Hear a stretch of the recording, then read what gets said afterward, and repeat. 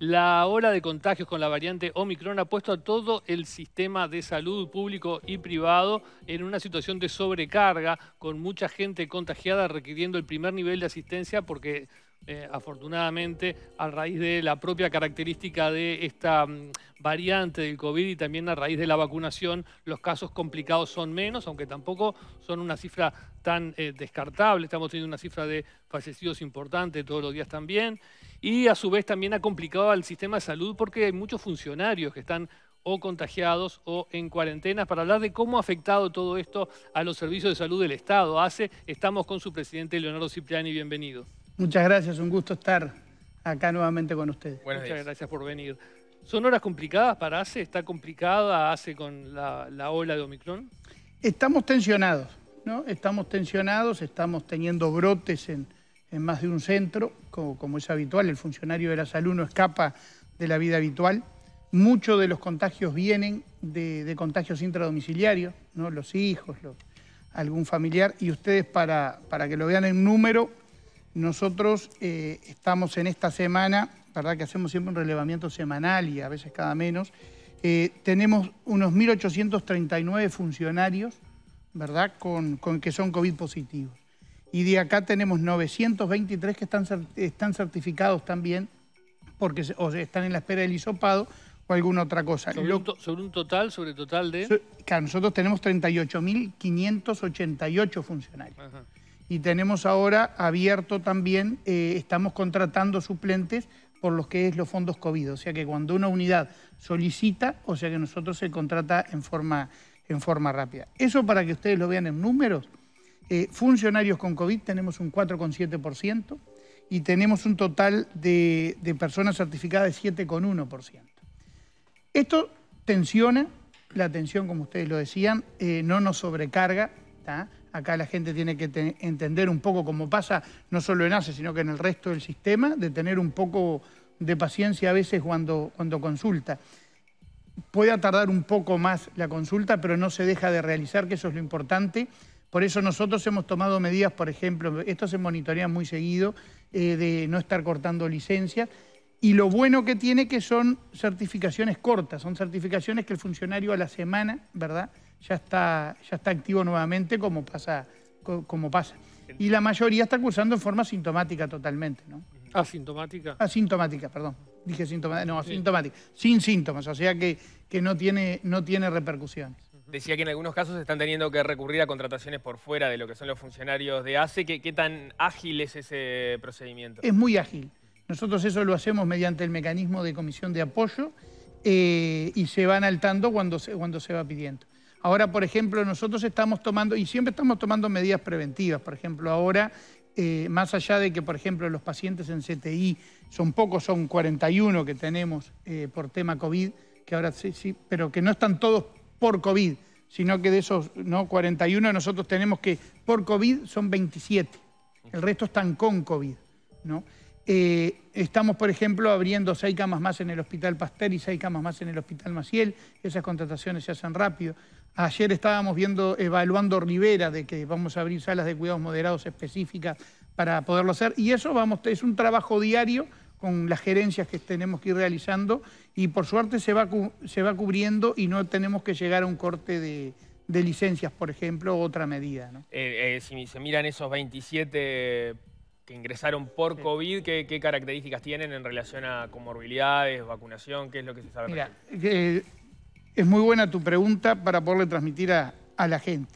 Del total de pacientes de los 42 que tenemos, un 71% no está vacunado y el 29% tiene dos dosis. O sea que había un paciente hasta hace unos días, hasta ayer creo que estaba con, dosis de refuerzo, que tenía las tres dosis, pero que tenía mucha patología agregada, mucha comorbilidad y que terminó falleciendo. Eh, y, el denominador común cuando nosotros vamos revisando los CTI es la obesidad. Es la obesidad y la no inmunización. O sea que ahí viene, viene lo importante. O sea, perdón que, interrumpa, pero para terminar de entender el dato, usted dice 71% no está vacunado o no tiene la, dosis No está vacunado. Tiene, o sea, no es que tenga ni siquiera una dosis. Ni siquiera una dosis. De los que están en CTI. De los que tenemos en CTI en ACE. Ahí está, sí, por supuesto. y del otro 29%, ah, en este momento ninguno, ninguno tiene tres dosis. Exactamente. es que este tenga al menos dos dosis, ninguno tiene tres dosis. Esos datos son ayer de tarde. Y teníamos, antes de ayer teníamos uno con inmunidad completa, pero que, terminó falleciendo. Y son pacientes con, mucha patología agregada. Eh, Julio Pontet lo salió a decir y, lo apoyamos, del, paciente obeso, ¿no? El paciente obeso que, que complete su plan de inmunidad, porque nuevamente estamos viendo, eso obviamente debe ser la... Por las características clínicas son neumonitis, o sea que es más típico de la variable delta. ¿no? Eh, pero tenemos ese, estos 27 pacientes, ¿verdad? De ese total de, ese total. O sea, si, miramos en términos de, cómo está la vacunación en el total de la población, eh, eh, todos los, que están en CTI salen del 50% que hoy no tiene las tres dosis y este, el 71% en realidad sale del 3-4% que, que, que, por lo menos si lo miramos en mayores de edad, ¿no? Porque son todos mayores de edad los que están que, no están, que no están vacunados. O sea, realmente es demasiado contundente la información. Exacto, exacto. Eh, hay una evidencia científica bien marcada de los efectos beneficiosos de la vacuna, ¿no? Y hay, una, no sé si ha tenido contacto con la familia de estos pacientes en CTI, hay una reflexión respecto a, la no vacunación. No, no, no hemos tenido, no, no hemos tenido. ¿Qué pasa con el personal de ACE? ¿Cuánto es el porcentaje de gente no vacunada? No lo tengo, el, mira, estaba por debajo del 4%. Eso lo hablábamos con la gerencia general. Es un tema que, se, que siempre se está trabajando a nivel de los gremios y tenemos siempre aceitado eh, para que sea ágil el proceso cuando el funcionario quiere realizarlo, como también de testearse cuando no están vacunados, ¿no? para ir transmitiendo seguridad. En realidad no es un problema que ahora nosotros estemos, estemos notando con, el paciente, con el funcionario no vacunado. Cuando, se este, empezó a, empezaron a dar el aumento de casos vinculados a esta variante Omicron, había dos focos de, posible saturación o por lo menos de generarle tensión y estrés al sistema. Uno tenía que ver con, los funcionarios este, afectados y cuarentenados, de los cuales ya dio algunos números. El otro tiene que ver con el primer nivel de, asistencia. Eso, ¿cómo está en este momento y qué papel empezó a jugar, si es que empezó a jugarlo ahora, los nuevos protocolos dispuestos por el Ministerio de Salud Pública? No, acá la, ventaja grande es que están libres a los siete días, o sea que hay un reingreso, eh, eh, se puede ingresar. Nos pegó en algún centro de terapia intensiva específico un poco más, eh, pero se, pudo suplir y a nivel de primer nivel de atención genera lo que ustedes están diciendo, ¿no? Tenemos alguna red de atención primaria que ha sido un poco más afectada, como fue la de Maldonado, por ejemplo, pero, pero se ha podido llevar a cabo la atención y no se ha cortado. Eh, tenemos mucha atención telefónica, ¿verdad? Eh, es muy bueno este convenio ahora de Antel que, que nos dio que, para que las personas cuando llamen sea gratis. Y nosotros hemos duplicado líneas en muchos lugares, ¿no? Para, para poder resolver en, en, una manera rápida.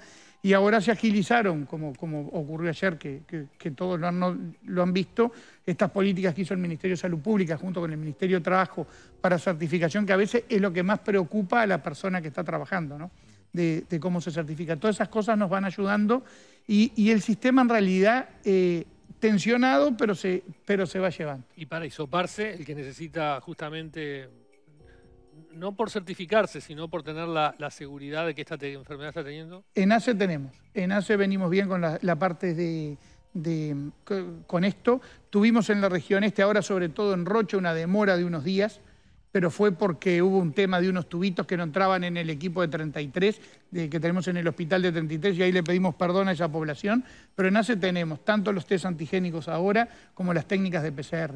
Esa fue una de las medidas preventivas que nosotros venimos trabajando ya desde todo el año pasado, que aumentamos, eh, bueno, arrancamos prácticamente de cero para lo que era PCR, y hoy en día la institución tiene 13 equipos de biología molecular en todo el país, y, redistribuidos en puntos estratégicos para, para ser rápidos. ¿Y, las demoras más o menos de cuánto entonces estarían siendo? Nosotros estamos en 24 48 horas. 24 48 horas para ir a, eh, para isopar. Para, eh, para entregarte el resultado.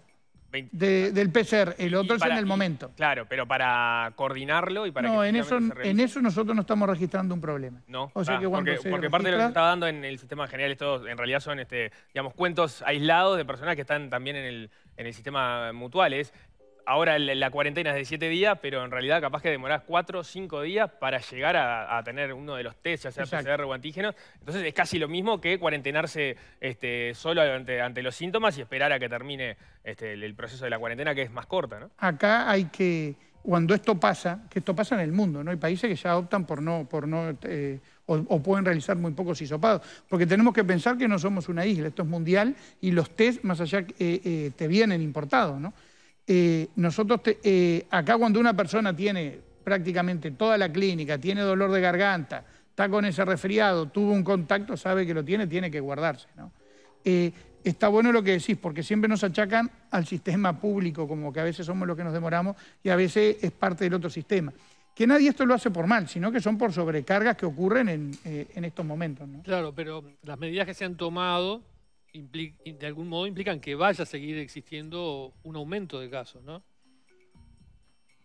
Y el aumento de casos se da por, eh, por la tasa de reproducción que tiene este virus. Este virus es altamente, se, se está distribuyendo altamente rápido y, va afectando. Lo que también está aumentando la inmunidad, ¿no? Antes, antes testeábamos a todos los contactos, ahora no lo hacemos en aras de, bueno, que, la vida fluya de una manera más este, normal y también porque tenemos un alto porcentaje de gente vacunada que hay que tomarlo en cuenta y de inmunidad por la propia enfermedad. Pero los contactos, eso también favorece que haya más contactos también, digamos. Y sí, eso lo favorece.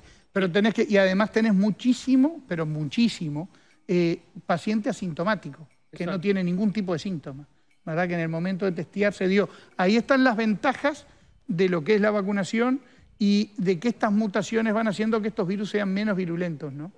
Es lo que le permite continuidad al virus. El virus cuando mata al huésped es un virus que no se reproduce tanto. Es inteligente este virus. Y que él que hace al hacer esto, eh, él, logra distribuirse más, ¿verdad? Pero sin complicar la vida, que eso es lo importante.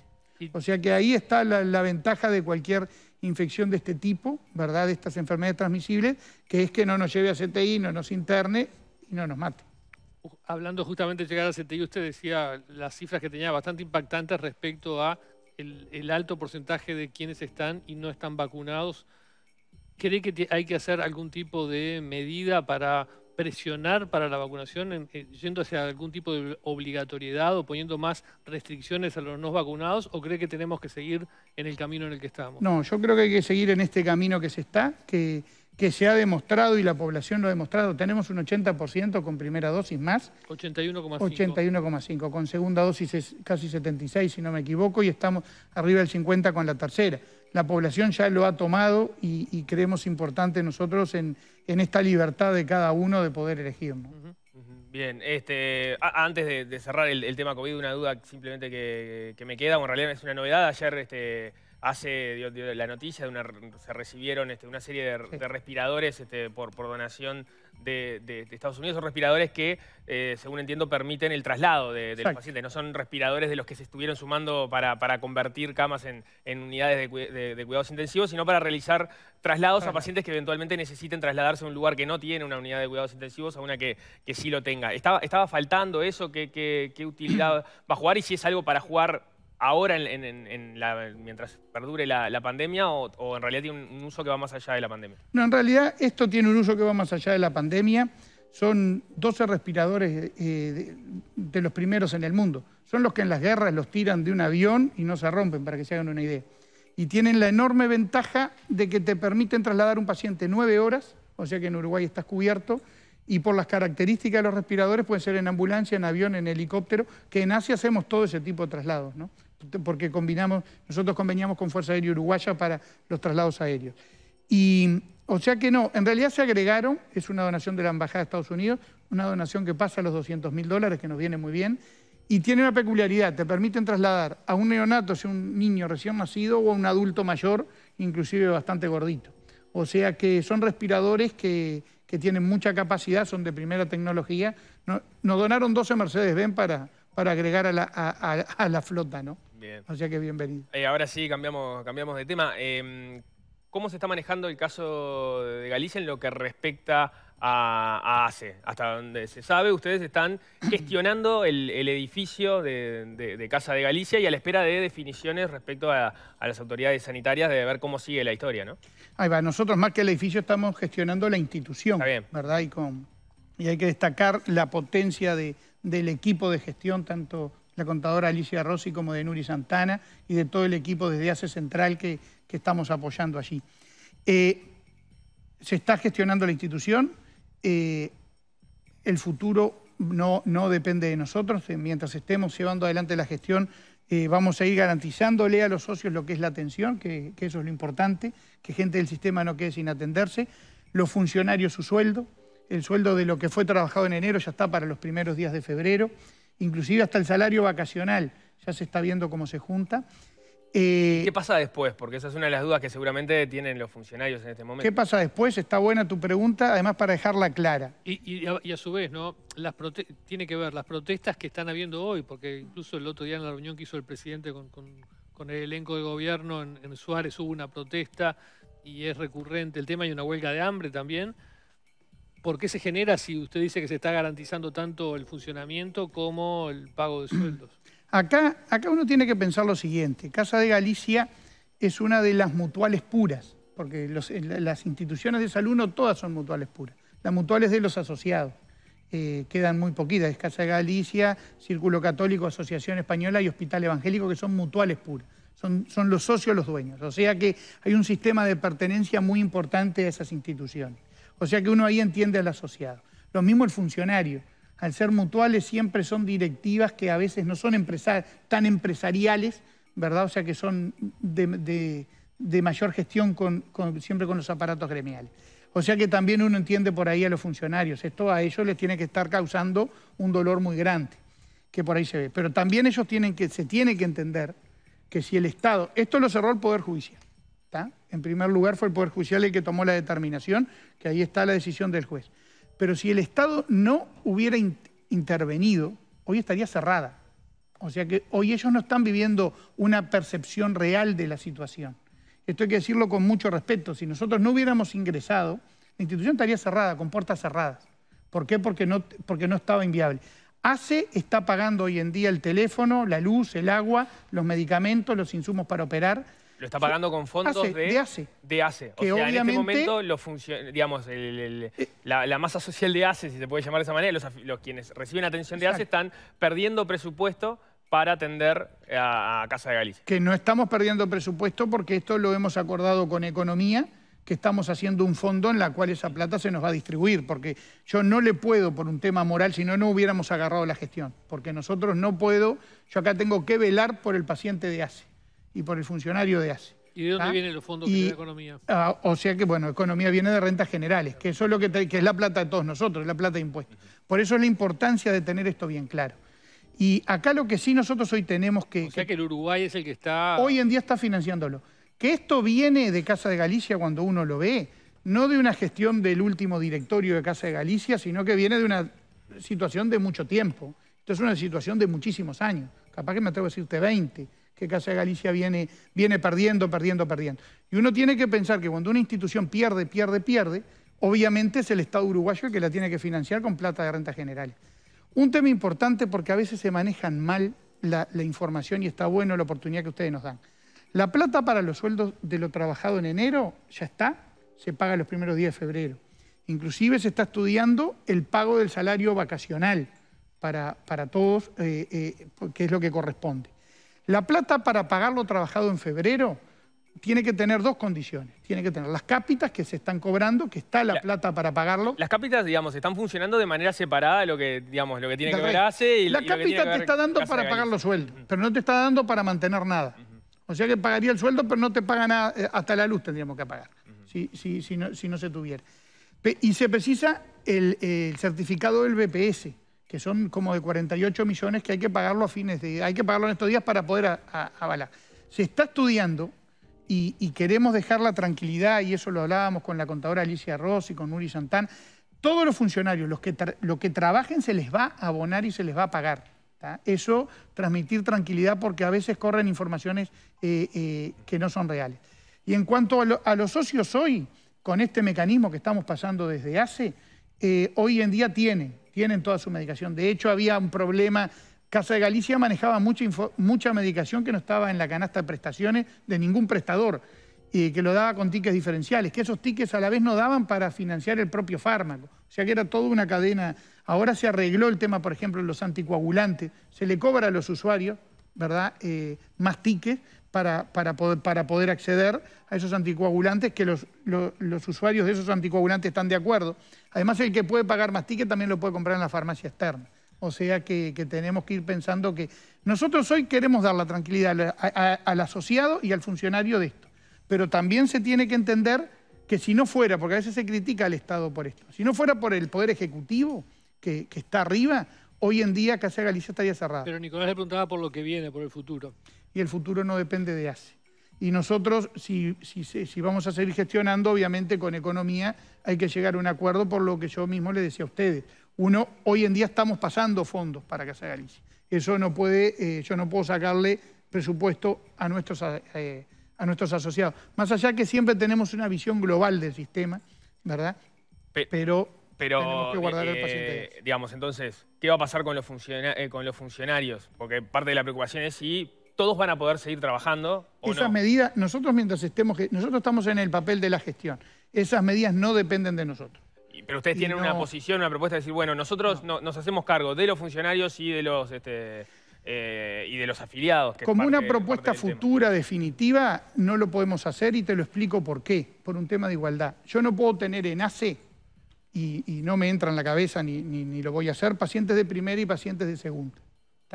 Eh, ACE eh, tiene que ser pareja para todos los asociados. O sea que si pasara a ser parte de, la red de ACE, la institución con sus funcionarios, con, sus socios, tenemos que dar el mismo nivel, el mismo BMECUN, la misma prestación. Eh, otros socios de ACE podrían perfectamente concurrir ahí. Ellos, si les tocara otro lugar, tendrían que ir a otro. O sea que eso sí quedará dentro de ACE.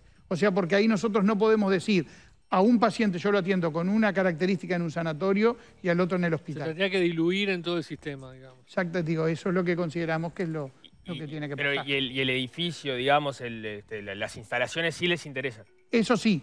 Eh, ¿En qué aspecto? Eso se entiende, lo que digo, yo quiero dejar bien claro eso, que no puedo tener un, socio de primera y un socio de segunda. O sea, no puede ser que los quienes hoy, si, hace si se hace cargo de Casa de Galicia, los, quienes hoy están afiliados a Casa de Galicia no es que se puedan este, atender ahí. En realidad todos los socios de ACE podrían acceder ahí y eventualmente tendrían que ellos también atenderse en otras partes de la red asistencial. O sea que sí, se, tendría que aceptar todo ese tipo de condiciones.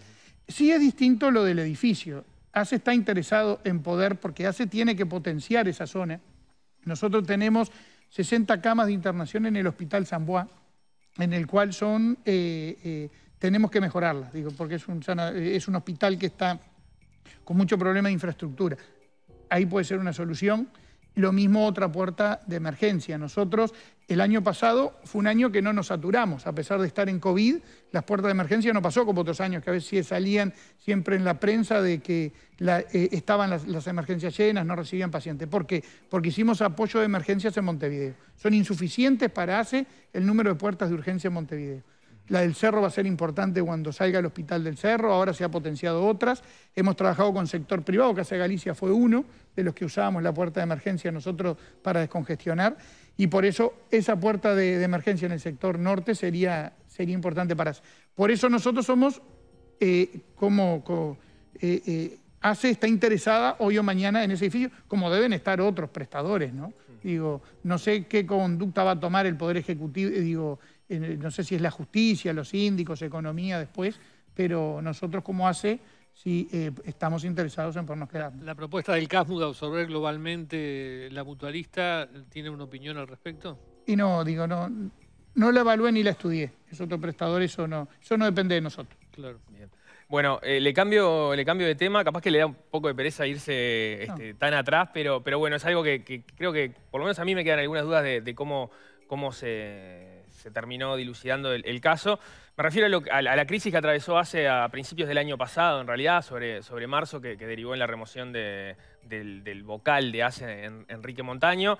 Recordemos brevemente cómo, cómo, fue el episodio, a partir de declaraciones de él, una, de una conversación que había sido eh, grabada y donde él hablaba de determinadas prácticas que supuestamente se estaban dando dentro de ACE. Bueno, él salió del directorio de ACE. Usted a los pocos días dio una conferencia de prensa, habló de este, que por lo menos hay una treintena de funcionarios que habían sido contratados de manera irregular y se los removió. También removió algunas este, autoridades eh, de, ACE, eh, por ejemplo, del centro de la ciudad de, la Costa, de jerarcas de la Comisión de Apoyo y de, y del centro de, eh, de Zamboa, perdón, y este, eso generó toda eh, una rispidez con, Cabildo Abierto, al punto de que en determinado momento, luego de todos estos episodios, el propio este, senador Guido Manini Ríos habló de que faltaba una disculpa pública de su parte, que ya había tenido en privado porque, según dijo él públicamente, esos funcionarios o parte de esas contrataciones irregulares después se había reconocido que no habían sido tan irregulares, que muchos de hecho habían terminado volviendo a, ingresar a ACE. Eh, dos preguntas. ¿Qué fue lo que ocurrió este, entonces este, con, todo este tema? ¿En qué medida efectivamente las contrataciones fueron o no irregulares y si esas personas están trabajando allí? Y luego, ¿Cómo fue el proceso de, destitución de las, autoridades que se dieron en su momento? Porque parte de la crítica de Cabildo Abierto era que muchos de los funcionarios que habían sido removidos en realidad pertenecían a SAME 105 y el jerarca de esa unidad no había sido removido y se, la habían agarrado con funcionarios de Cabildo Abierto. Bueno, eso fue una situación, como bien dijiste, que cuando se lo grabó Enrique Montaño, eh, que hay que destacar siempre la parte personal y profesional. Enrique Montaño fue un excelente director de ACE, eh, una persona que nos sirvió muchísimo para planificar todo lo que fue eh, en el interior, la estrategia del... me dio mucha mano para, por, su capacidad de militar para la distribución terrestre de los traslados, de las cuestiones. Muy trabajador, jornada de 22, 23 horas de trabajo literales y contadas.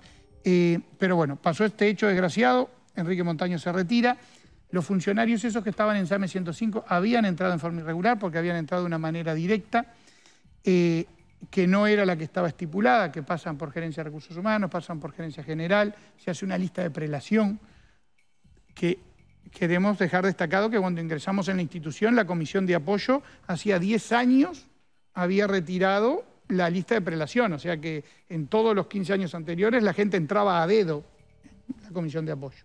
Y es bien claro, ellos la habían suspendido. Nosotros la habíamos vuelto a poner y lo que se hizo fue, esos, funcionarios, en esos funcionarios no se había cumplido porque no habían pasado por, por estas vías y lo que se hizo fue anular esos contratos que habían tenido poco tiempo, que no habían sido los 140 y pico, 120 y pico que se habían hablado, sí, sí habían sido esos 30, y fueron unos 28, 30. Y lo que se hizo después fue abrir las listas como se deben abrir, que mucha de esa gente se anotó y mucha de esa gente debe haber entrado. Pero haber entrado como la posibilidad de cualquier persona. ¿no? Respecto a la crítica de la, remoción, por ejemplo, de que no sabía, la mayoría de esos funcionarios habían entrado a SAME 105 y en realidad las remociones fueron en, otras, en otros centros y en otras unidades y no en, SAME 105, la remoción de autoridades me refiero. No, y en eso se trabajó también eh, eh, según a cómo se había manejado en cada uno de esos centros.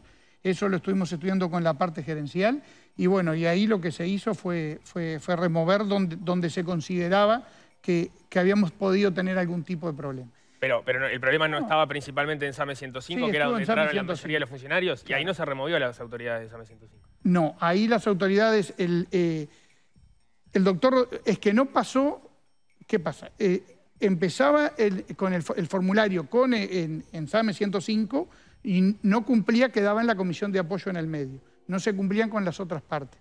Nosotros no vimos. El trabajo que se ha hecho en SAME 105 hay que destacarlo porque fue un desarme completo de SAME 105 que se volvió a armar de una manera eh, muy compaginada, en el cual estamos trabajando juntos. En realidad nosotros hemos elegido mucho perfil técnico para trabajar, en la cual hay gente del Partido Nacional, hay gente de, Cabildo Abierto que están, que están en, posiciones de, jefatura y de dirección, están hay gente que viene de, gobiernos anteriores porque son profesionales y técnicos. Ahí nosotros tenemos que, ir viendo el perfil profesional y cómo viene eh, dando la producción cada unidad. Acordate que SAME 105 siempre fue un tema de crítica en ACE. Hoy en día no tenés quejas de SAME 105. Se aumentó eh, brutalmente lo que fueron el número de móviles de trabajo, se está haciendo una descentralización muy importante en el resto del país, ya estamos abarcando Canelones, nos estamos yendo hacia, hacia Ciudad de la Costa, perdón, ya nos fuimos hacia Ciudad de la Costa, en Parque del Plata se inauguró, ahora estamos por ir a Ciudad del Plata para poder instalar, eh, el servicio se viene cumpliendo, se están haciendo cargo, por ejemplo, de muchísimos hisopados, de muchísimo control domiciliario, de, poder llegar. Y estamos trabajando en conjunto. Nosotros lo que fue esa rispidez que existió, eh, hasta yo diría que hasta con el propio Montaño, yo he hablado con él posteriormente, digo, porque no, no, no considero, es como te digo, yo en mi trato personal con él es una persona que, valoro mucho el tiempo que estuvo, como la vez Julio Micac es un, es un director de mucha capacidad de trabajo al igual. Ellos ya tienen una formación que es de trabajo, ¿verdad? Eh, y, con muy buenos aportes y que nos complementa muy bien, porque tienen un aspecto logístico que, por ejemplo, a veces los médicos no manejamos, ¿verdad? Marcelo Sosa, que es el vicepresidente, que es abogado. O sea que no que nosotros en eso venimos con buena relación. ¿Y, existió una, disculpa en privado a, Cabildo Abierto o a Marini nosotros acá, nosotros actuamos, no, dijo la verdad en ese, aspecto? No, eso sí yo no lo quiero decir. él, dijo que había habido una disculpa en nosotros Esto, nosotros actuamos de la manera que hay que, hay que actuar, ¿verdad? Y, y separar lo que son los temas a veces de esto de los temas personales. Eh, no, no, tema de, disculpas no hemos tenido. Nosotros actuamos de la manera que, se actúa y, no en vano la casa hoy en día está en orden y está en orden hasta con la coalición. ¿no? Digo, nosotros trabajamos digo, en este aspecto siendo, y esa es la cabeza que tenemos, siendo uno solo.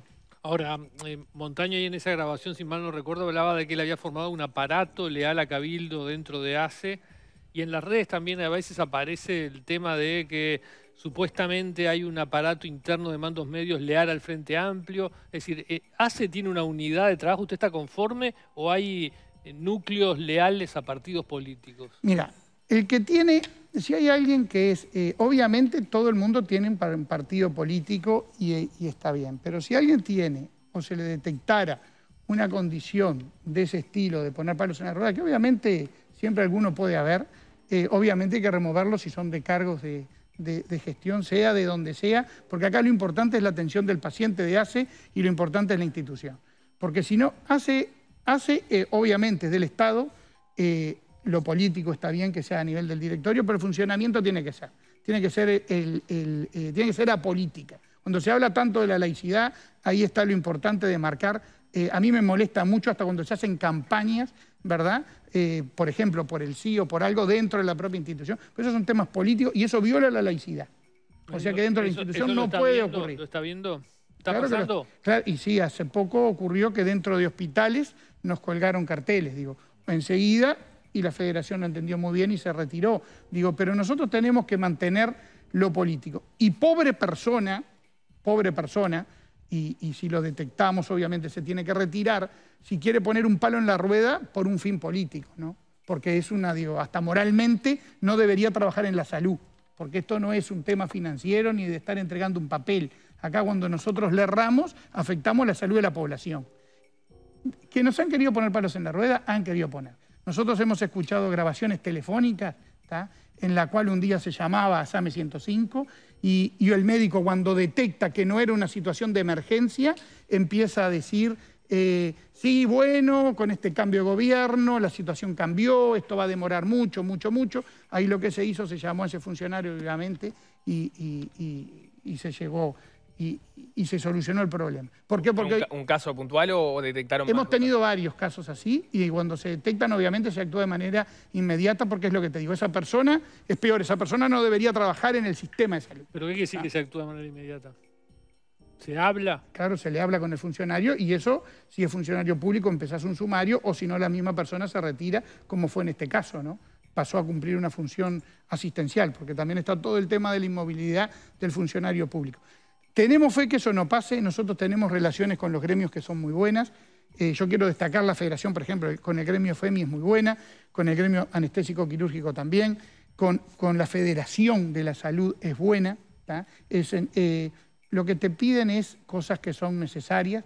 Están algún comentario a veces chico y que no es de la federación entera, puede ser de algún caso puntual, por eso no hay que, generalizar. Y lo mismo con el sindicato médico, siempre que nos, pedí, digo, nos reunimos eh, eh, son, son, se piden cosas justas. Y es bien fácil. A nivel de los gremios se maneja el sí, el no y el no se puede. Son tres respuestas que hay y son las tres que hay que dar. ¿Y cuál da más, seguido? ¿El no se puede? nosotros tenemos mucho no se puede, mucho no, porque a veces hay mucho pedido como todo que son, que son engordes. Nosotros tenemos que pensar, hace, venía con un, con un vicio malísimo. Yo incorporo este vaso de agua, lo presupuesto. Después quiero tomar agua en botellita, lo presupuesto también. Y mantengo los dos presupuestos. No junto estos presupuestos. Y ojo, y tengo jefe para esto y jefe para esto. y o sea que este vaso lo descarto y deja pero sigue consumiendo. Hay mucho vicio, ¿verdad? Hay mucho vicio que lo que tenemos que hacer es gestionar. Es gestionar porque son fondos públicos, ¿no? Es lo que hablamos hoy al principio. Es la plata de todos nosotros que protestamos cuando pagamos en impuestos. Bueno, también hay que, eh, eh, desde el gobierno y desde este momento que nos toca administrar, es lo que nosotros eh, somos muy celosos con eso, ¿no? Leonardo Cipriani, presidente de ACE, muchas gracias por esta entrevista. Por favor. Muchas gracias. Nosotros vamos a ir